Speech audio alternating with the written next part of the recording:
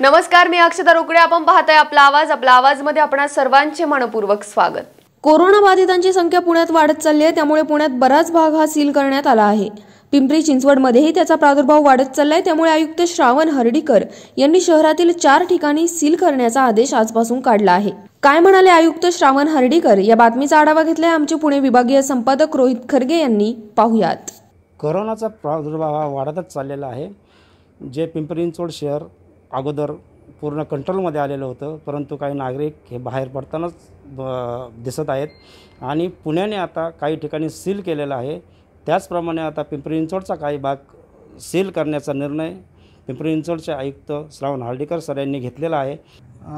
Corona साथीच्या पार्श्वभूमीवर पिंपरी चिंचवड महानगरपालिकेमध्ये सध्या आठ रुग्ण पॉझिटिव्ह आढळून आलेले आहेत आणि त्यांच्यावरती महानगरपालिकेच्या वैद्यकीय विभागाद्वारे वाय सी एम येथे उपचार सुरू आहेत.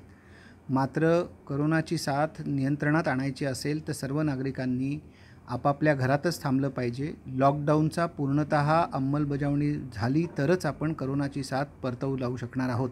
आणि ह्या पार्श्वभूमीवर जे आपल्या इथे पॉझिटिव्ह रुग्ण आढळून आलेले आहेत त्या भागामध्ये त्या नागरिकांची कॉन्टॅक्ट ट्रेसिंग केली असता त्यांचे दैनंदिन दिनचर्येचा विचार केला असता काही भाग हा निश्चितपणे आपल्याला लॉकडाऊन अधिक तीव्रतेनं करण्याची गरज आहे. यासाठी पिंपरी चिंचवड शहरामध्ये देखील अन्य शहरांच्या प्रमाणेच काही भाग हा थोडासा स्ट्रिंजंटली सील करण्याची आदेश आम्ही दिलेले आहेत.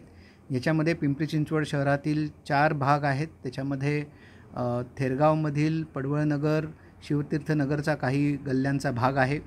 खराळवाडीमधील काही भाग आहे.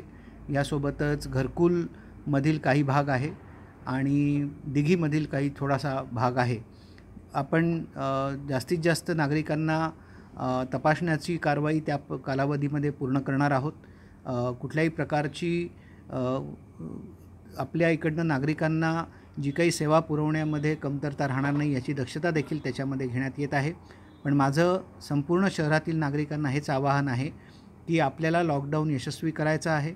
लॉकडाऊनच्याद्वारे आपण घरातच राहणार आहोत. घरात राहिल्यानेच आपण ही संपूर्ण जी कोरोनाची चेन आहे ती तोडू शकणार आहोत. आणि जर ही चेन तुटली तरच आपण करोनामुक्त राहणार आहोत. त्यामुळे सर्वच नागरिकांना माझं आवाहन आहे की आपापल्या घरात राहा. अगदीच जीवनोपयोगी सामान घेण्यासाठी जर घराबाहेर पडण्याची वेळ आली तर आठवड्याभराचा शिधा सामान भाजी एकत्र घेऊन या. जेणेकरून परत परत घराबाहेर पडावं लागणार नाही. घराबाहेर पडताना केवळ एक एकट्यानं घराबाहेर पडावं. बाहेर असताना देखील सोशल डिस्टन्सिंग पूर्णतः फॉलो करावं. किमान एक मीटरचं अंतर अन्य व्यक्तींमध्ये राहील याची दक्षता घ्यावी. यासोबतच कुठल्याही ठिकाणी झुंबड गर्दी होणार नाही याची दक्षता नागरिकांनी घ्यावी. आणि जर तुम्हाला कुठल्याही प्रकारची फ्लूसारखी लक्षणं असतील तर तात्काळ नजीकच्या मनपाच्या वैद्यकीय केंद्रावरती जिथे आमची फ्लू ओ पी डी सुरू आहे तिथे भेट द्यावी. माझं सर्व नागरिकांना आवाहन आहे की या कालावधीमध्ये पिंपरी चिंचवड महानगरपालिकेनं करोनाच्या अपडेट्स देण्यासाठी P C M C smart Sarathi नावाचं एक मोबाईल ॲप तयार केलेलं आहे. या मोबाईल ॲपवरती सर्व अपडेट्स वेळोवेळी उपलब्ध आहेत.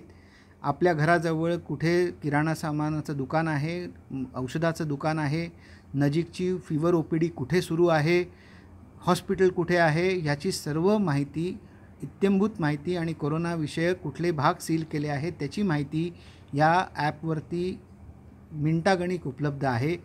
याच्यावरती स्वयं सर्वे फॉर्म देखील उपलब्ध आहे की जेणेकरून तुम्हाला कोरोनाची लक्षणं काही कारणाने आहेत का हे आम्हाला तात्काळ कळू शकतं आणि आम्ही तुमच्यापर्यंत वेळीच सेवा पोचवू शकतो.